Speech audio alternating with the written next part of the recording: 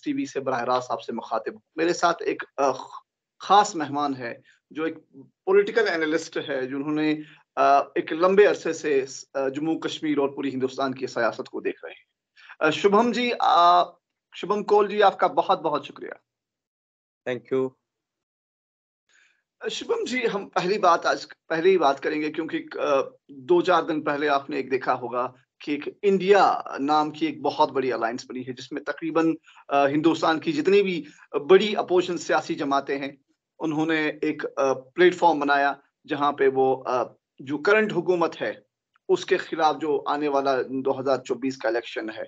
आप इसको किस नज़र से देख रहे हैं? पॉलिटिकल एंगल से और बाकी तमाम रिव्यू से। देखिए, अभी बहुत बहुत अच्छा सवाल है ये और आज की डेट में it is hunting everybody's mind पिछले नौ साल से हालाँकि for last seventy five years Hindustan ने भारत ने बहुत सारे पॉलिटिकल फॉर्मेशंस को नई दिल्ली की सीट पे बराजमान देखा है। आ, लेकिन पिछले नौ साल से भारतीय जनता पार्टी की सरकार आई गो कि उससे पहले भी दो दफ़ा उनकी सरकार आई थी। जिसमें वो या तो अपने या बाहर से सरकार को सपोर्ट कर रहे थे या खुद जो है कोलिशन गवर्नमेंट उन्होंने बनाई वाजपेयी साहब के टाइम पे। और उस वक्त भी ये खदशात थे इंडिया में कि ये जो है कहीं टोटलिटेरियन स्टेट की ओर देश को ना ले जाएँ। और उस वक्त बहुत सारे सोशलिस्ट लीडरों ने ये फैसला किया कि हम इसके अंदर जा करके ही इस इसमें एक डेमोक्रेटाइजेशन का प्रोसेस इंश्योर कर सकते हैं जिसमें जॉर्ज फर्नांडिस और नीतीश कुमार और बहुत सारे ऐसे सोशलिस्ट लोग जो हैं वो एनडीए की अलायंस उन्होंने ज्वाइन की। आ, उसके नतीजे में आगे चलते हुए भारतीय जनता पार्टी को एक एब्सोलूट मेजॉरिटी मिली और पिछले नौ साल से जो आ, उनको जो मैंडेट मिला था वो मैंडेट जो था वो डेमोक्रेटाइजेशन के लिए आ, मिला था जो उनके जो कमिटमेंट्स थी जिस पे लोगों ने वोट दिया था वो उन्होंने करप्शन को ख़त्म करने के लिए दिया था रोज़गार फराहम करने के जो इलेक्शन का मैनिफेस्टो उनका जो था वो उसमें जो मेजर मुद्दे थे वो जिसपे लोगों ने उनको मैंडेट दिया वो ये था कि जो फॉरेन बैंकों में ब्लैक मनी स्टैश की गई है उसको वापस लाएँगे वो पहला मुद्दा बना जो अन्ना हजारे की मूवमेंट के नतीजे में ये मंडेट मिला था भारतीय जनता पार्टी को। और उस अन्ना हजारे के मूवमेंट का जो मेन एजेंडा था, वो ये था कि एक ऐसा अम्बुड्समैन जो है मुकर किया जाए स्टेट में, जो गवर्नमेंट के कंट्रोल से बाहर हो, जो एटोनमस हो, और वो करप्शन के मुद्दे पर सरकार को ओवरसी करे।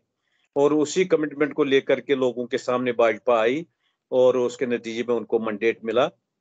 लेकिन आ, लोगों को बहुत ही ज़बरदस्त निराशा हुई। उसके बाद उन्होंने देखा कि इस सरकार ने बजाय इसके कि वो वो मोर डेमोक्रेटाइजेशन ऑफ़ गवर्नमेंट करते वो आ, जो है लोकपाल जो है एस्टेब्लिश करते इस सरकार ने आहिस्ता आहिस्ता जो है जो बच, जो मौजूदा मरवजा जमहूरियत जो थी उसी को कुरेदना शुरू किया।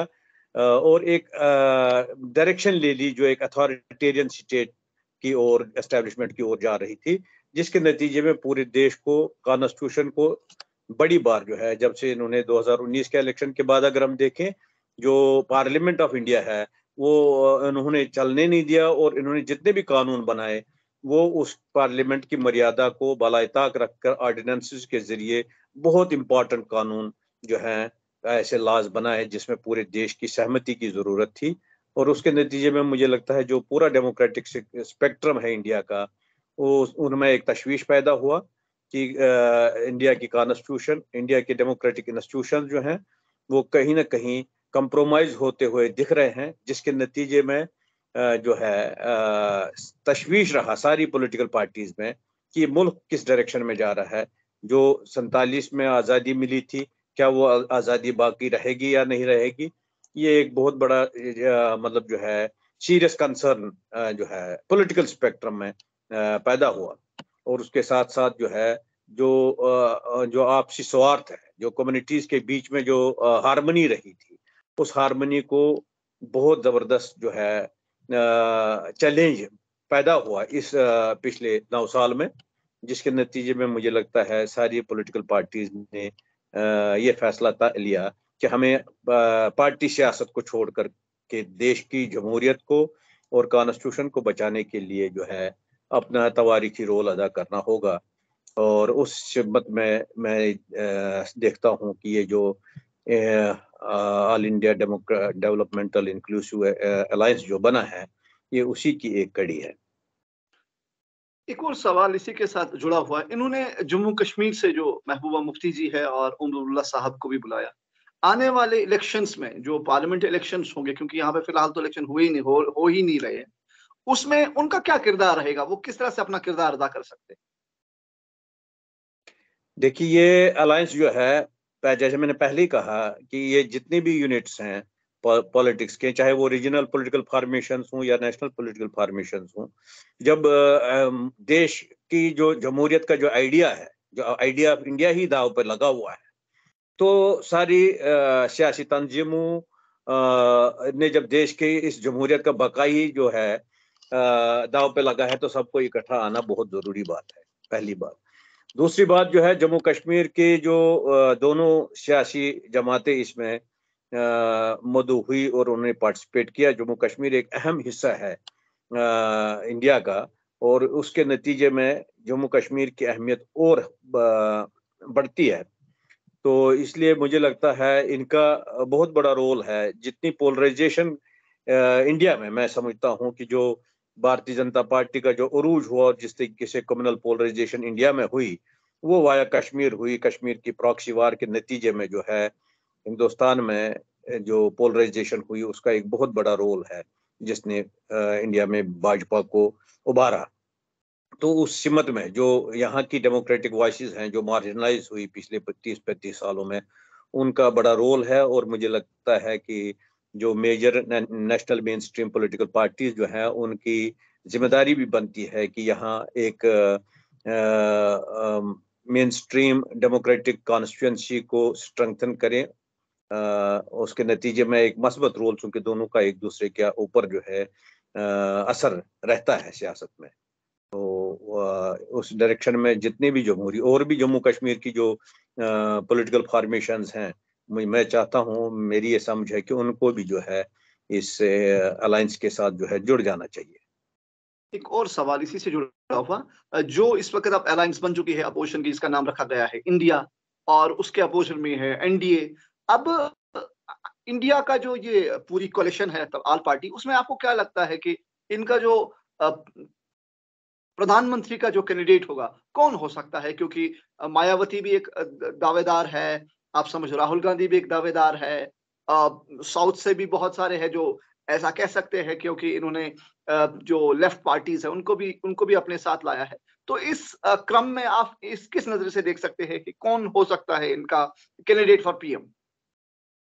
मुझे नहीं लगता आज की डेट में जो है ये बड़ा इंपॉर्टेंट इशू है कि पीएम कौन होगा। आज की डेट में ये इंपॉर्टेंट है कि ये, इन्होंने तो ये कॉलिशन बनाई और इनकी सब की अपनी अपनी कॉन्स्टिट्युएंसीज में अपने अपने पॉलिटिकल इंटरेस्ट्स हैं।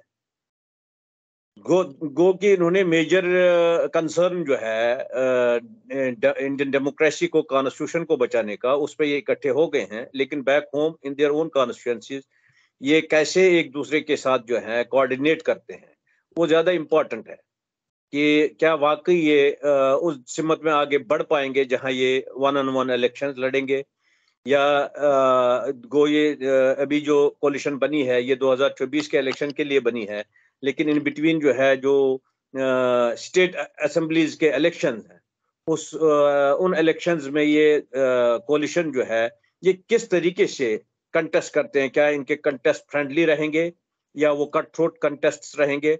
उसके, उसका भी असर जो है आने वाले वक्त में इस कोलिशन की परफॉर्मेंस पे पड़ेगा।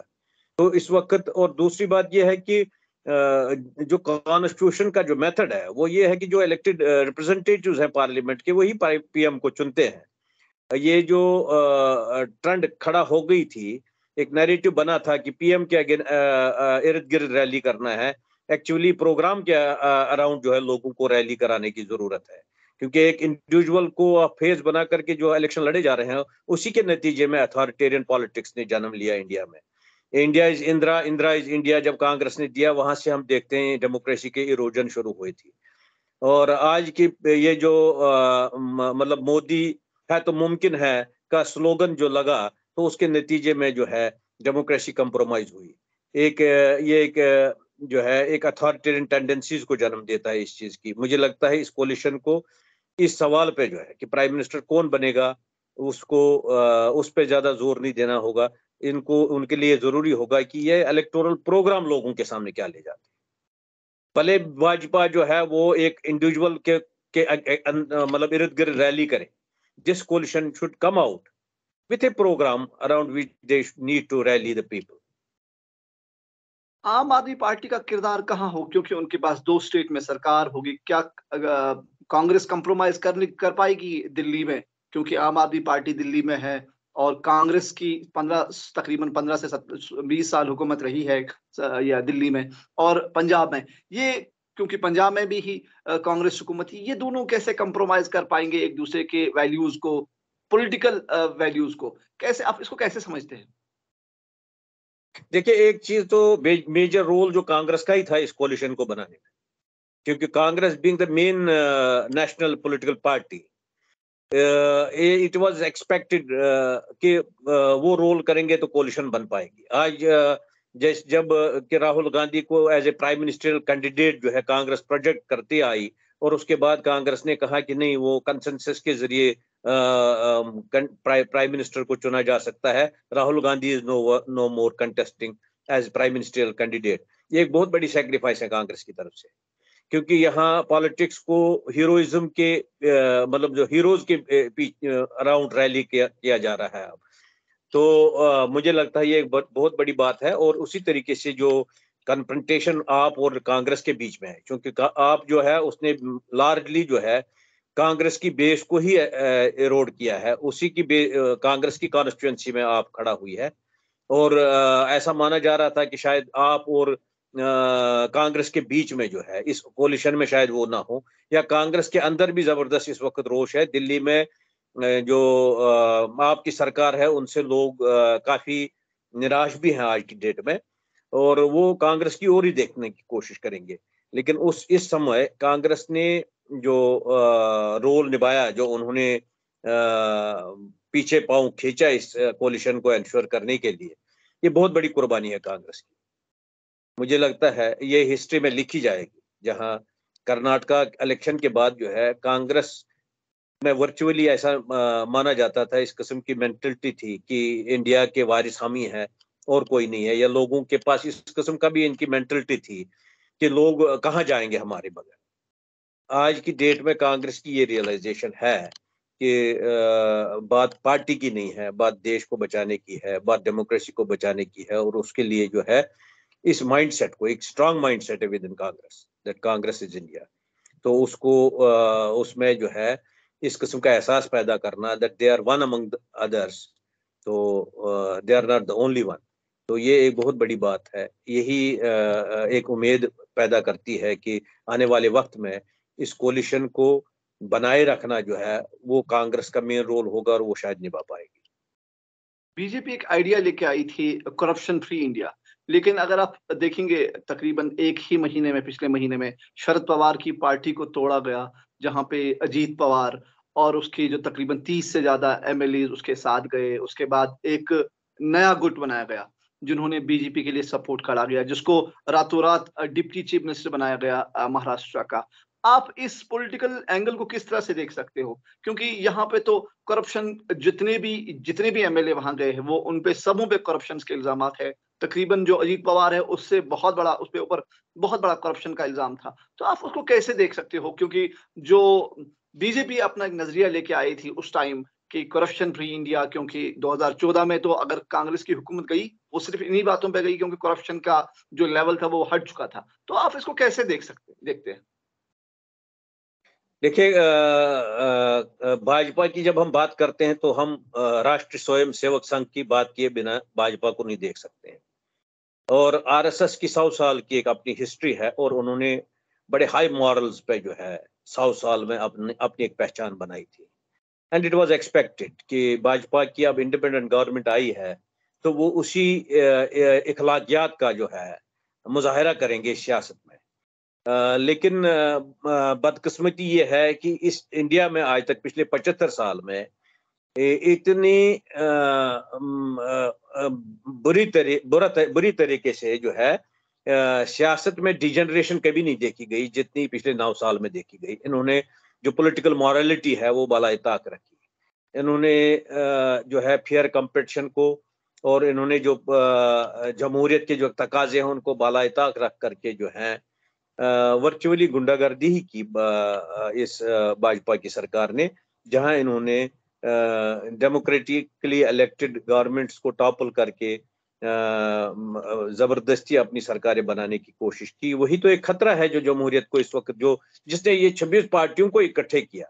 उसका एक मेन रीजन ये है कि भाजपा ने एक तो इंस्टीट्यूशन यूज़ किए मिस यूज़ किए चाहे वो सीबीआई हो, चाहे वो एनआईए हो, वो करप्शन के चार्जेस हालाँकि इसमें दो राय नहीं है।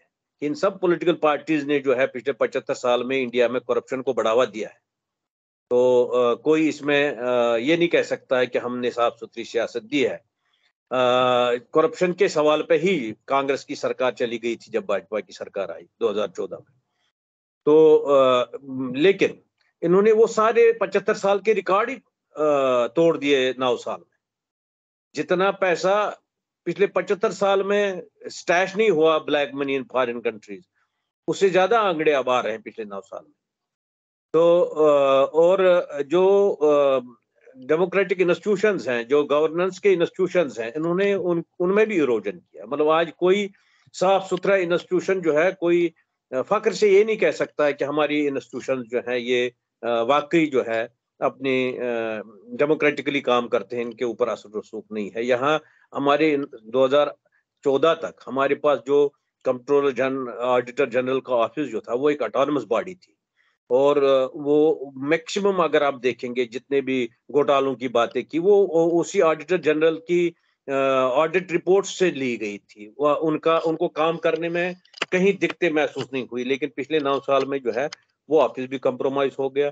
यहाँ मतलब जो है आज की डेट में मीडिया खत्म हो चुका है जिसे चौथा सतून माना जाता था और जुडिशरी पे भी जो है इस किस्म के दबाव जो है, वो देखने को मिले हैं पिछले नौ साल में।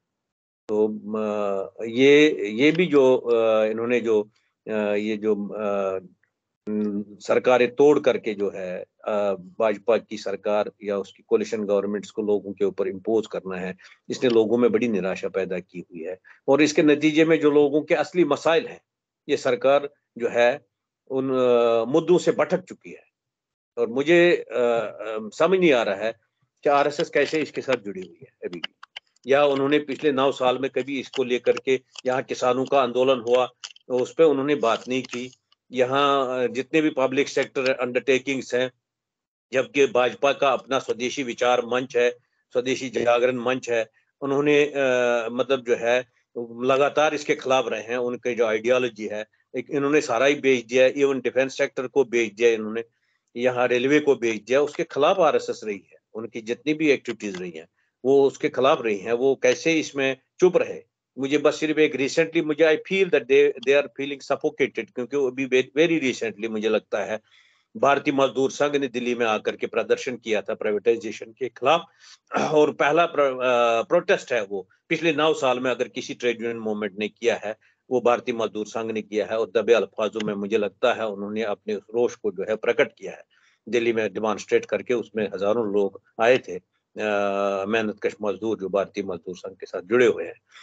तो मुझे नहीं समझ आता है कि आने वाले वक्त में वो कैसे बिहेव करेंगे नए इलेक्शन में, और मैं समझता हूँ शायद उनको भी जो है इंडिया के साथ खुद को जोड़ना होगा। अगर वो वाकई देश की डेमोक्रेसी को और यहाँ कॉन्स्टिट्यूशन को बचाना चाहते हैं।